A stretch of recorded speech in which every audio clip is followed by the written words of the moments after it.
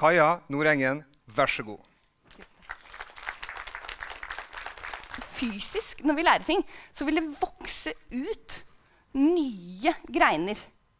Vi får ikke så veldig mange flere nerveceller.